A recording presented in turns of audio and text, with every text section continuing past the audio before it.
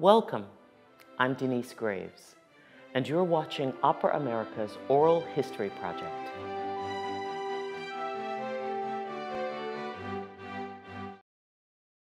Well, um, let's get started. And, um, you know, you probably know I ask this question of everyone.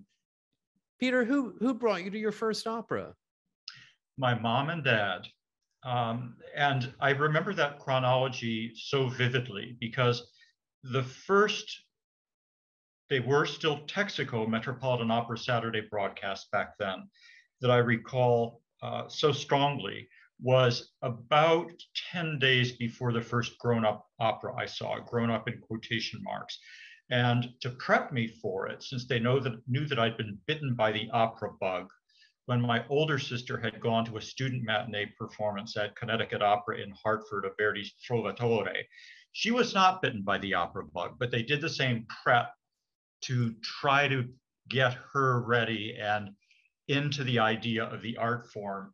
Um, and I just thought it was wonderful. I just couldn't get enough of Trovatore. It was the recording with Leontyne Price and uh, Richard Tucker and uh, Rosalind Elias and Leonard Warren. And, uh, and they thought, well, we'll take, take Peter to the opera. So it was La Boheme with Mirella Freni. And to prep me for it, they bought the complete EMI recording of it with Freni and Nicolai Gedda and Thomas Schippers conducting. And as I said, about 10 days before that particular live performance in December of 1966, the Met broadcast um, Turandot with Zubin Mehta conducting their first season in their Lincoln Center digs with Birgit Nilsson, Franco Corelli, and um, Bonaldo Giaiotti in the other lead parts. Now, I'm at a stage in life, um, nearly 65 years old, where I have less than zero use for Turandot most of the time. But in a strange way, although my parents were a little bit concerned that it was really gory for a child. I thought it was just the best thing ever. And the sounds coming through the radio intoxicated me. So I was listening to that one with my mom and my maternal grandfather, Luigi Marianella, who, like a lot of people from the old country, loved opera, had 78 RPM records of Judy and Caruso and this one and that one. Um, and I I was just bitten hard by the opera bug, including that performance of Boheme, and I never got over it. So for Christmas and birthdays, I got complete LP recordings of operas and checked them nonstop out of our public library, um, along with piano vocal scores. And that's how it all got started for me. You know, I did not realize that you came to opera as a legitimate um, son of you know it, Italian heritage here. So uh, th- this was a a familial art form when it was passed along to you. Absolutely, my dad got into it through my mom, um, but it was basically her parents kind of inculcating her. Uh, you know, I, there's a story about when I was a wee small lad. Um, she had a recording that she loved of Ferruccio Tagliavini singing the aria, um, it's Je crois entendre encore. I think it's Mi par udire ancora, if it's uh, Pescatori di Perle. And she would play it nonstop while she was ironing in our basement. And one of the whoopings of a lifetime I ever received was when she took a phone call and I put that recording on the ironing board and ironed it and I found that it became pliable. So I started twisting it into a sculpture. Oh boy, was I in trouble that day. So I think that there was a kind of guilt of if you can't beat them, join them that basically led me to say if she feels that strongly about it, there must be something to this. Wow. Wow. That that is uh, that is a wonderful story. When when did you you decide that opera was going to become a part of your professional life? You know, that okay, I have to grow up, I have to have a job, and opera is going to be what I do. When, when did that occur? Um, I think that that started when I was in college. I was taking, I'd begun in the elementary school with the FLES program, foreign language in the elementary school, taking French. Um, and I took Latin in high school, which meant that um, Italian came very easily to me, on top of which, as Grandpa Marianella got older he tended less and less to speak in English to my mom. He would just talk to her in Italian and she would answer him in English or a combination of half Italian, half English. So that came very easily to me. And I took German. And I began uh, working first as an assistant stage manager and then a stage manager for the productions that were done every winter and every spring in collaboration between the opera department at the Yale School of Music and the Yale School of Drama, making use of um, the students who were in the design department at the School of, of Drama and the music staff like John Mauceri as conductor or Otto Werner Mueller as conductor, um, and Phyllis Curtin's and the other voice faculty's voice students. Um, and I enjoyed it. I thought, well, this is this is nice. You know, I basically am spending time doing what is my hobby, except that I'm working at it. And someone said, well, you know, there's always a demand for that in the field. I had much higher ambitions in, in originally and thought that I wanted to be a stage director for opera. And bless their hearts, Yale gave me two fellowships. One was in between my junior and senior year. Um, and I spent part of that in Milan transcribing parts of Verdi's ultimate flop opera, King for a Day, Un giorno di regno, that were alternate pieces, um, a duet and a trio that never made it into the final um, autograph score. They're now, by the way, at, um, I believe they're still at the um, American Institute for Verdi Studies at NYU, at least I believe them to be. Um, and the rest of the time I spent um, in Fiesole, a town outside Florence, watching uh, the great baritone Tito Gobbi um, do master classes of Italian repertoire. Wow. Um, actually, a couple of people did pretty well for themselves among people that uh, were there that summer. An English soprano named Janice Cairns, who had a wonderful career at English National Opera until she missed the mattress and fractured her spine, and the career came to an end. And an American soprano named um, Karen Huffstodt, who was from mm. Illinois. She was a real standout that summer. Uh, so there was that fellowship, and then the, for a full year after I graduated, I'd written to opera companies in Germany, Switzerland, Belgium, um, Italy, and where else? Oh, the Glyndebourne Festival to gain permission to watch new productions of operas in rehearsal. So I started in Florence watching uh, Riccardo Muti conduct a, a, perform, a production that was actually televised of Nozze di Figaro. Um, I saw Giulio Chazalettes uh, directing a production of Werther with Alfredo Kraus at La Scala. And I went to Hamburg to see Horne and Sonia Frisell in the Ponnelle L'Italiana in Algeria, Götz Friedrich in uh, uh, Tristan in at the Deutsche Oper in Berlin with Barenboim conducting. Um, and while I was abroad, I couldn't get people back in the States to answer the question Do I need a graduate degree in theater administration, or should I just start working in the field? and everyone was evenly divided. I did get into the MFA program at the Yale uh, School of Drama, but the idea of a couple of more years in New Haven, uh, Connecticut, and paying more tuition paled in comparison to applying for real jobs. So from overseas, I applied to what I thought was every opera company in the US where I wanted to work. Um, and I got invited to do two. Um, as assistant stage managers. Houston Grand Opera, who were still performing in Jones Hall at that point, and what is now Washington National Opera. Um, but I interviewed within a week in August of 1980 for both jobs. And Washington's role at that point was to make um, Houston seem that much more hellish in terms of climate mm-hmm. and a place to live than Washington, D.C. Plus, my sister was already living here. Um, so I chose Washington, and that's where I've ended up off and on, spending the better part of my adult life, as you know. So, Peter, what was the first opera job here in the U.S.? Um, it was as assistant stage manager at Washington National Opera, and the very first production I wor- worked on was a new production of Un ballo in maschera, um, conducted by Cal Stewart Kellogg, directed by Frank Rizzo, designed by Zach Brown.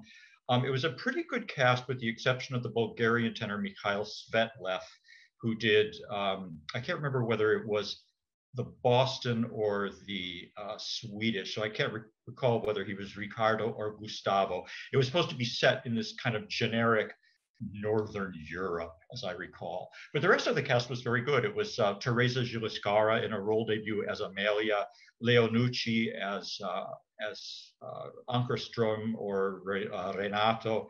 Uh, Janice Hall was Oscar. Mm.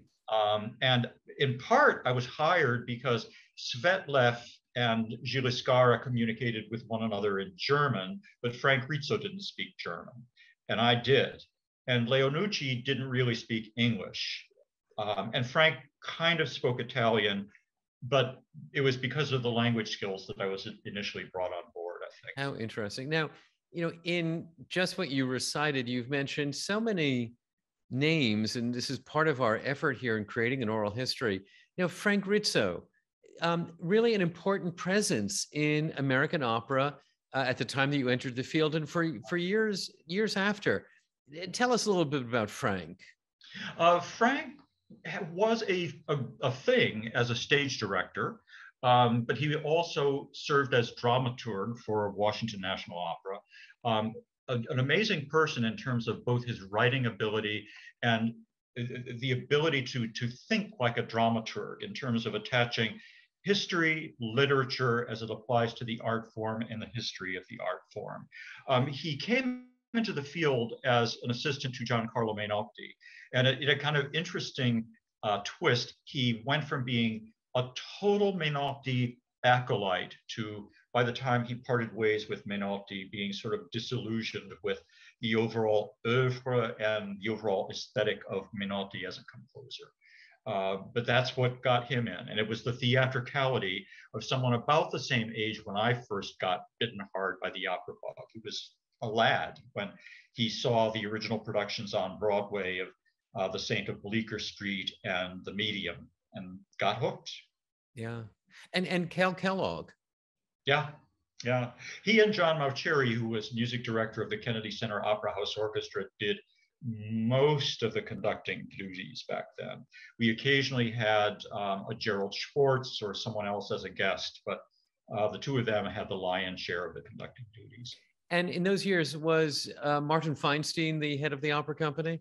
He was the entire time that I worked there. And of course, he had been a protege of the uh, legendary impresario Saul Hurok. That was his uh, early training. And and um, did you have much contact with with Martin at that time? What was he like? Uh, you know, Martin was a character who had character. Um, I also adored his wife Bernice. Uh, little case in point, Martin invited a group of us to his home in McLean for dinner one night. And with the rash stupidity of youth, with uh, Mstislav Rostropovich as conductor of the NSO in those years, and Galina Vishnevskaya still singing, we would, and the Sieglinde was someone who had a lovely lyric soprano that she beefed up to sing hochdramatische roles. The uh, Siegmund was a very handsome German tenor, and you would know the name, but I'm not going to say it to protect the innocent. Uh, and both of them were in very poor form the afternoon of the Valkyrie. Uh, Matti Salminen, on the other hand, the Finnish bass who was doing Hunding, was absolutely amazing. Mm-hmm. So Act One is over, and it, forget about your memories of Lotte Lehmann and Lauritz Melchior or uh, Leonie Rysanek and Jon Vickers, whoever, pick your poison, forget about them. They weren't doing their thing that afternoon. And it was a beautiful spring day. And I went out to the plaza that overlooks uh, the river. And Bernice and I both lit up cigarettes because that's what we did back in the 1980s. And she rolled her eyes and she said, I don't know about you, but I'm rooting for Hunding. He's the only one on that stage that can sing. that is so funny. I never knew Bernice well, but uh, a couple of times, and certainly what I experienced is is similar to that. You know, it occurs to me, and I had not planned on on asking you about them, but here we are talking about a ring cycle in Wotan. Of course, because you were a resident in Washington, uh, I remember well you, uh, that, that Tom Stewart and Evelyn Lear were there in Washington, uh, and. Were you you had you know an extended you know friendship relationship with both of them. Um, some recollections of of Tom and Evelyn. Um, Tom made peace with having had a, a, an illustrious, storied career that was then in the past. Uh, by the time I got to know them quite well, I don't think Evelyn really ever gave up on the idea of there somehow being a comeback. I remember a dinner at their country club in Rockville right after all of us had seen the Broadway tryout in the Eisenhower Theater at the Terrace, uh, the Kennedy Center of Masterclass with uh, Zoe Caldwell and notably Audra McDonald singing Lady Macbeth's entrance aria, sounding as good as Shirley Verrett in her prime. And come to find out, she had coached it with her carousel co-star Shirley Verrett. And Evelyn had two idées fixes over dinner that night. One was that someone needed to mount a production of Masterclass for Evelyn playing the role of Maria Callas. And the other was that Audra McDonald needed immediately to stop this nonsense of being the star of Broadway and screen and television and pop music and study classical vocal music with Evelyn so that she could take her rightful place as the next Evelyn Lear. Um, and Tom, in his gentle sort of way, said, Oh, honey, you could never remember all those lines. Well, we could get a prompter. Uh, yeah. Uh, so it was interesting. Um, I think oh, that while, yeah. while it was Tom so was wonderful. Alive, you know, when I when I'd go to their home for dinner and just taking out old recordings, private recordings, and sitting they're listening to Tom and Evelyn with Tom and Evelyn. It was just a remarkable, you know, set of dinners. Yeah. Yeah. So when you entered the field, there you were working Washington National Opera. Did you have a role model where you had keenly learned the repertoire and probably observed the industry uh, just with your your your great intelligence? Did you have a role model? Was there someone absolutely. you want to be like the interesting thing is that uh, is that all what does this say that all of my role models but one perhaps uh, were female? Uh, Ardis Krainik mm-hmm. um, and my supervisor at Wolf Trap, Anne McPherson McKee, from whom I learned so much. When I took that job in August of 84, the job at Wolf Trap was the proverbial job that nobody in his or her right mind would want because it had switched hands about three times in five years. And Frank Rizzo's advice was look, at your age, because I wasn't yet 20, how old was I?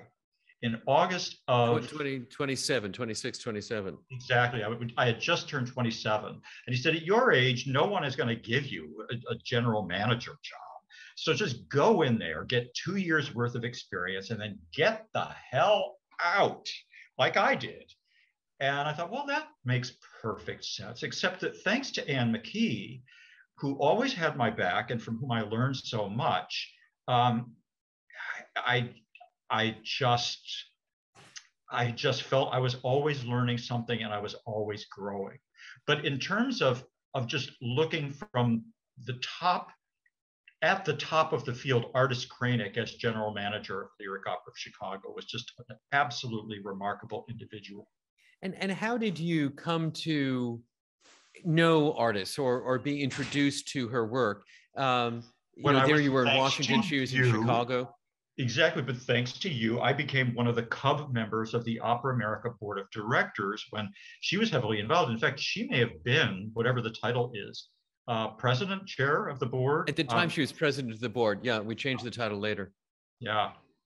Um, but just always had a knack for knowing what the right thing to do was, how to think strategically, how to never waste time, how to cut to the chase. She was just so admirable. And and just that energy, that presence, the incredible uh, charisma that she had. Yeah. So you actually David Gockley too. Um, yep. David Gockley, in terms of what he achieved in Houston, was uh, thoroughly admirable. Yeah. Uh, what he was able to do there was just hats off to him. Yeah, a real trail trailblazer for sure. You know, when I when I think of your early career or the early part of your career, young artist development was was clearly a through line. And here you were taking a job with Frank Rizzo's advice at Wolf Trap, thus aligning yourself with the trajectory of young artists. But did it, it did it start out as a job and then become a passion? Was it really a passion you got to realize when you took the job at Wolf Trap? How did you yes. become so closely aligned with young artists? Uh, I don't know. It's kind of a was it the chicken or the egg type of thing because it was also in the fall of 1984 that I served for the first time as an adjudicator for what's now the Metropolitan Opera La Femme competition. And it was for the district auditions here in DC with a very interesting pair of co-adjudicators, both of whom had just retired from DC institutions. Audrey Snapp, who had been tenured faculty for years at University of Maryland's Maryland Opera Studio, and Mattiwilda Dobbs, who of course, after Marilyn, uh, Marian Anderson broke the color barrier in 1955 at the Met, was one of those people that just had a great international career, mostly in Europe, but also at the Met and also a recording career. And I sort of felt it was more my duty to listen and learn from them, which I did. And a person who actually won in the districts was the regional winner that spring of 85, and then won as one of the top prize winners in New York and did well for a while. But I was also really fortunate because our first year of Filene Young Artists, my first full season of staging opera at Wolf Trap in 1985, we had some really good people who lasted a long time. And it was strange because Alan Glassman, who had just made the switch from lyric baritone to tenor, and Richard Croft were, were both several years older than me and had been in the field for a while. And I always sort of felt like they quite understandably were sort of like raising an eyebrow, like, who is this punk? But we also had um, Dawn Upshaw that summer, a coloratura who did quite well for herself for a number of years, and in fact did a couple of the roles uh, at the Met that she did for us, Barbara Kilduff. Uh, we had Loretta Bybee, Victoria Livengood, Gordon Hawkins, Eugene Perry. It's a good lineup that year. Um, Wolf Trap has had a number of incredible years. I, I, remember, you know, the year when Stephanie Blythe and Emily Pulley, Michelle DeYoung uh, were all in, and Christine Goerke were all in one class. It was an amazing class. And all singing Handel. That's the thing. And everyone says, you know, now, oh, well, they can't sing Florian music, except that back then they all did, including Eric Owens, who was Achilla in that same production of Julius Caesar that all the aforementioned were in. And they all could really move their voices. And I think for them, it was good. Uh, for everybody, it isn't. There, no two are created exactly alike, but I think it was good experience for them in 1995. And then, of course, you you followed the young artist uh, track, you know, getting getting to the Met and working on the um, the Lindemann program. So um, yep. you can continue to have this connection to young artists uh, even as, as your career progressed. And also, some of the singers that we present as part of our recital series are uh, emerging people. When our founder turned 90, the board wanted to do something to honor him. And his request, because he really missed the annual collaboration that Vocal Arts used to do with uh, the foundation that Marilyn Horne created, which existed for the express purpose of seeing to it that recital repertoire continued to thrive in the hands of the best of America's uh, classical singers we would, with the Horne Foundation, present the DC recital debut of one of her up and coming young singers every year. And a lot of people for years and years said that they remembered the first Kennedy Center recital by, let's name three of those names Christine Goerke, Stephanie Blythe, Michelle DeYoung, through the combined auspices of Vocal Arts and uh, the Horne Foundation. So uh, we presented a wonderful young Canadian mezzo soprano virtually um, as our Gerald Perman emerging artist this past year, Emily D'Angelo. And uh, this year it will be a soprano who's finishing up with Houston Opera Studio, Elena Villalon. Uh, but some of the people who have done that since 2015, when we created it, are already doing very well for themselves. And that's, that's exciting fantastic. to watch. Yeah. Well, I, and I wanted to, and, and you've, you've taken us right down this path. I wanted to talk to you about the song recital Sure. And you know, you and I, um, you know, are chronologically uh, the same age, and I remember when I was, um, you know, in college that to get tickets to a Janet Baker recital, Christa Ludwig, Dietrich Fischer-Dieskau, that um, these these song these recitals were just packed with audiences. Carnegie Hall at the time was Avery Fisher Hall, and then when I lived in Chicago, it was whether it was Kathleen Battle or Jessye Norman, sold out recitals. And these days, um, that that just isn't as uh, the song recital is not as popular as a form, does not bring out audiences the way it used to. And yet, my sense is that a song recital is a very important part of an opera artist's development. So, what what is your view? Here you are leading Vocal Arts DC. What's your view about the place of the song recital in our opera world? I think that it behooves us to take a stance similar to what the artistic administration at the Met has been doing since the pandemic and since Black Lives Matter, which is to say, aspects of the canon in the right hands, or in this case, the right brains and throats, will always have a place. And we found this, whether it's Christian Gerhaher with uh, Huber or uh, Anna Caterina Antonacci and Rosa Feola doing music of their homelands. Those are rare bird sightings that will draw crowds. But we also need to take a good hard look at what we have in our own backyards and give everybody a place at the table. So this year's recitalists include David Portillo doing a program that includes Copland and Britten, which as an openly gay man, and that's a change from when you and I were there. There were singers that were, uh, when you and I first started out, there were singers that were quietly out, mm-hmm. but that was about the extent of it. People like John Reardon, for instance, or Donald Graham. Um, and also people that um, are composers of Latinx um, extraction, like Guastavino and Chapí. So we have that. We have Will Liverman doing songs by Black composers as well as by um, Ravel and Richard Strauss. And we've commissioned a new cycle for him based on poems by Edna St. Vincent Millay and um, music by Michael Ippolito. Um, Elena Villalon uh, is going to be singing another commission by a Latinx composer based in Minneapolis, Reinaldo Moya, as well as songs from all over the map, including by Maria Grever. So we're talking female and Latinx. Um, Morgina Stera, Shostakovich, Hugo Wolf. So it's a very, very mixed and very diverse program. And then uh, Jamie Barton with Jake Heggie at the keyboard.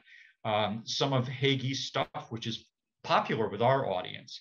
Uh, when Susan Graham gave a recital to open our 25th anniversary, we commissioned the song cycle Iconic Legacies from Jake and Gene Scheer, which Jamie and Jake have now recorded, and our audience will hear it for the first time since we gave its premiere.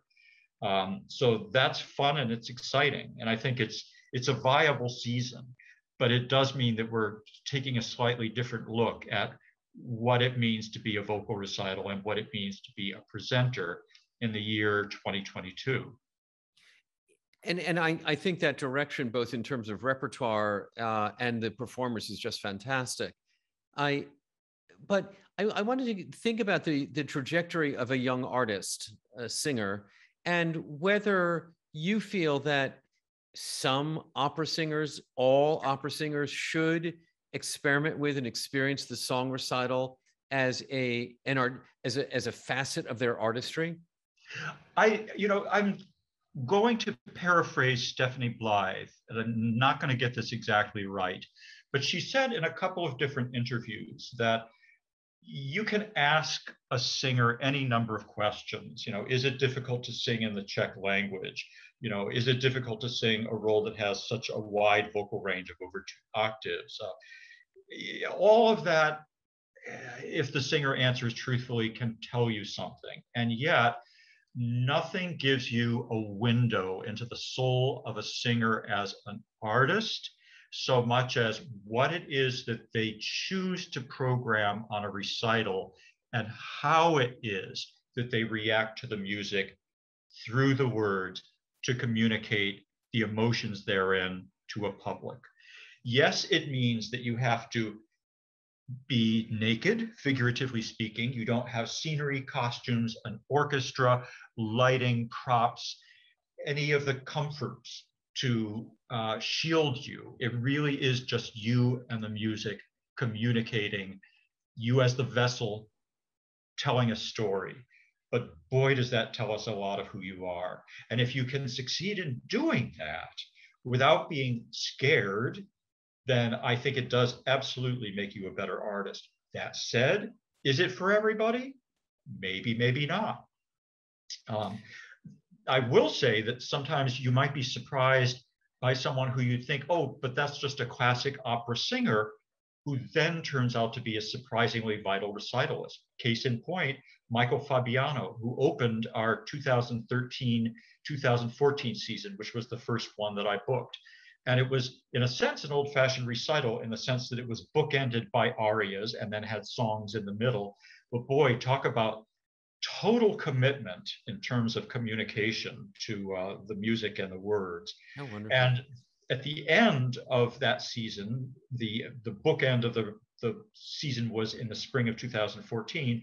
Larry Brownlee, um, who is for us just a golden charm. He can come and sing anything, including um, a recital that you would think half the audience, when he did it in the spring of 2018, would say, Well, I'm not sure that I want to hear half of this because it included the Schumann Dichterliebe.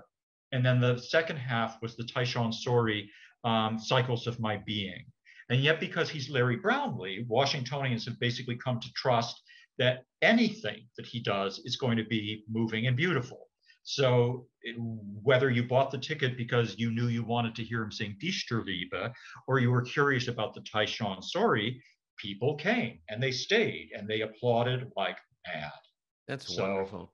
Yeah. And I, I, it's true. I, I invoke something that Stephanie said with me in an interview some years ago you know, when you're doing a song recital, you also don't have a costumer. You, you have to choose your dress. Yes. Um, you have to choose your hand gestures, your body movement. You don't have a stage director. And that to become, you know, a, an artist who can stand on on their own, you need to do a song recital where you are alone with the choice of repertoire, the clothes, the movement on stage, and um, it was really, I think she used the phrase an autonomous artist, uh, that the song recital was really essential in creating that sense of artistic autonomy. Yeah, absolutely. And that reminds me of something. Um, I won't name this particular artist, but uh, there was a recital presented not by us in the Kennedy Center Terrace Theater. Um, and the press release, which I received, had a quote from the artist saying that she wanted to underscore for the audience that each selection on the program had been handpicked by her. And I thought, what an odd statement to make. If you yourself, as the artist presenting this program, didn't select the music, who pray tell did? Certainly the accompanist didn't say, hey, you there, soprano, I'd like to hire you to come to a recital with me, which I'm going to select. I'm going to program. That's not how this works. You're absolutely right, and so is Stephanie. It's it has a... to be something where you you basically say the narrative arc is going to be thus, and hopefully there will be a narrative arc in terms of you you go beyond just what we call the uh, prix fixe, where you start with the standard Purcell or Handel, and then you do some German and some French, and then you end with some Copland. Hopefully, yeah. there will be something a little bit more original than that.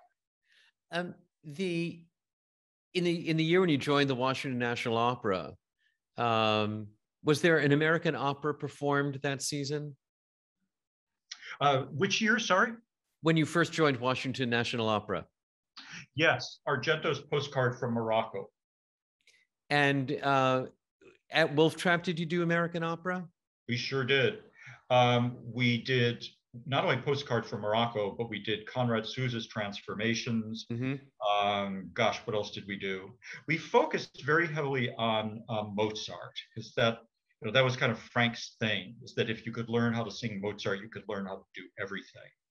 Um, that that continues to be pretty true. But I, I, I'm leaning in this direction. You talked about some of the wonderful composers you've commissioned at Vocal Arts DC. You know, a smattering of American opera, of Conrad Susa, of of others at Washington National Opera.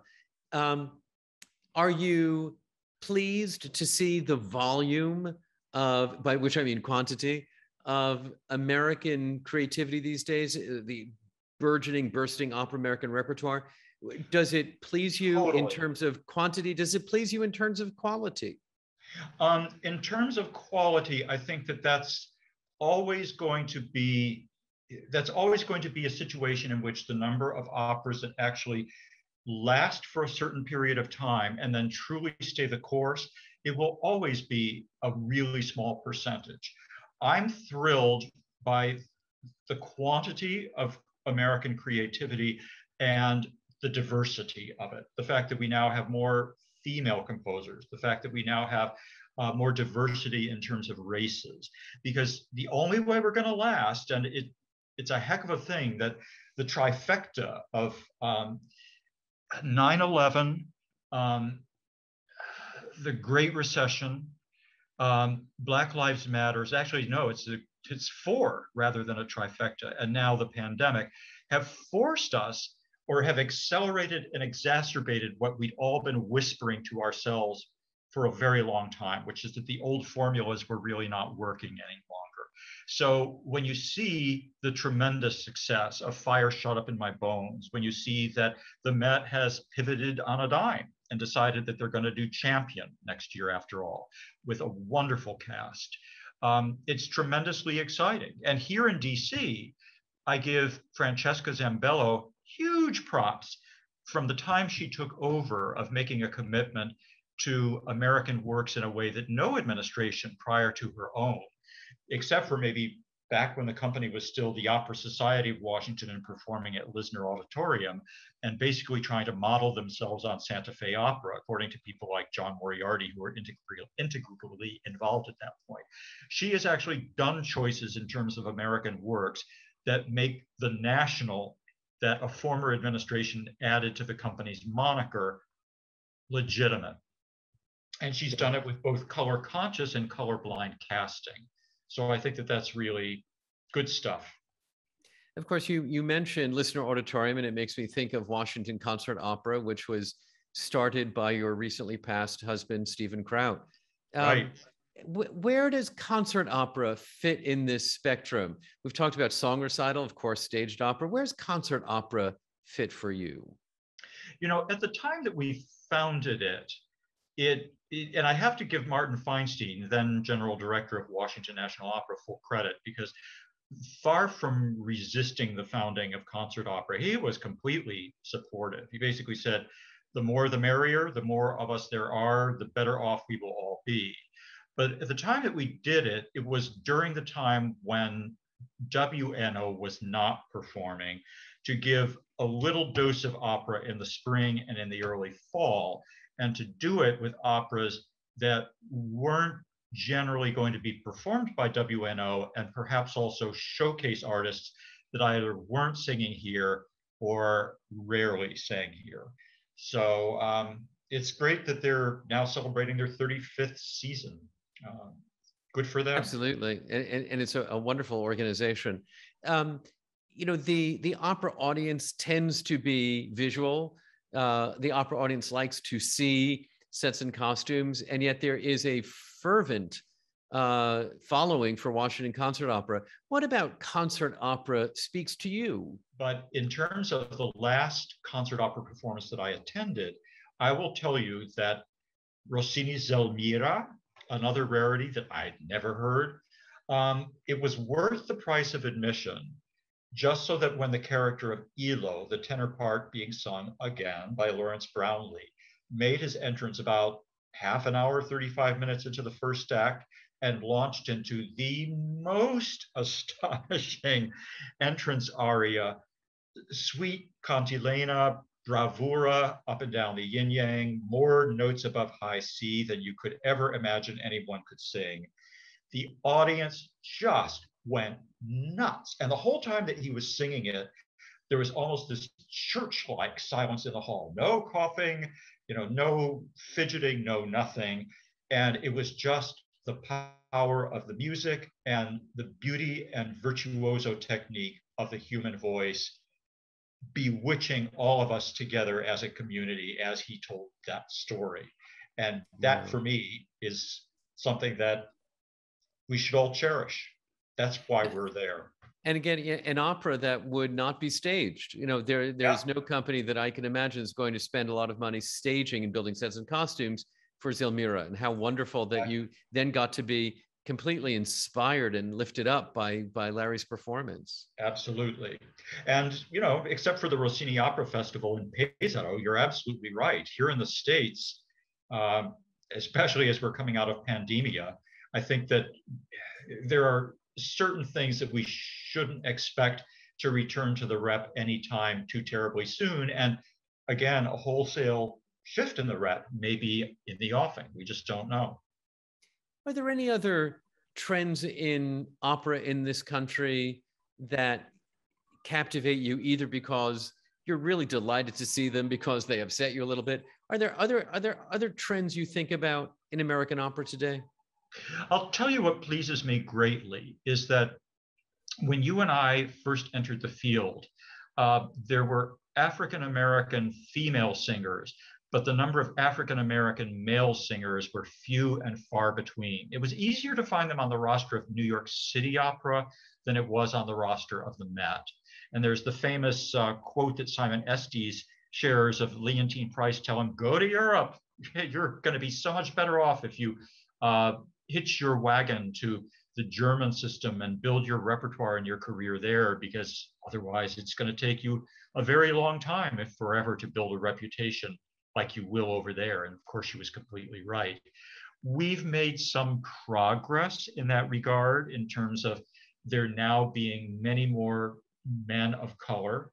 Um, and also in terms of Asian singers. Um, it used to be that if there were singers from Asia, they were sopranos and they were pigeonholed as Cho-Cho-san and Liu. Um, you know, we have presented as our permanent emerging artist recitalists both of the Chinese soprano Ying Fang and the uh, Korean Hera Hyesang Park.